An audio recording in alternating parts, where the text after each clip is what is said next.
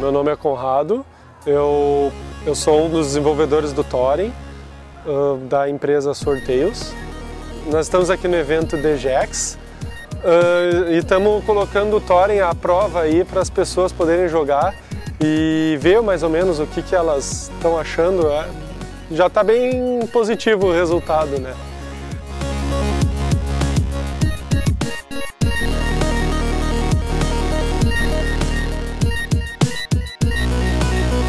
Nós estávamos com uma build uh, muito antiga antes, então nós resolvemos zerar ela, refazer toda a parte visual, um pouco da parte de, da, da aventura e resolvemos que tinha que ser feito, né? Nós tínhamos que demolir todo o nosso projeto e começar ele do zero de novo.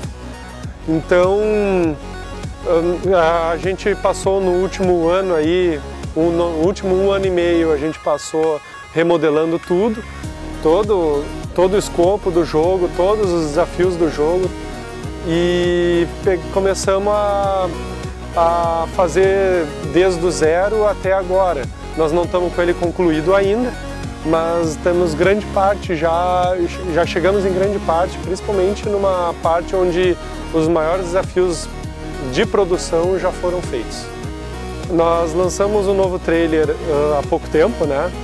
E esse segundo trailer, nossa segunda build, e as pessoas têm sido muito uh, afetivas quanto ao jogo e muito uh, positivas quanto a ele.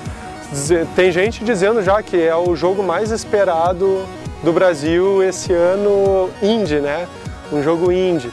Então isso para nós é ótimo, porque é, é, ali tá, a gente tratou, trata o jogo com muito carinho, uh, muitos problemas apareceram que a gente teve que, que passar por cima e, e trabalhar em cima dele, em cima do jogo, para que ele che eh, chegasse nesse, nesse objetivo.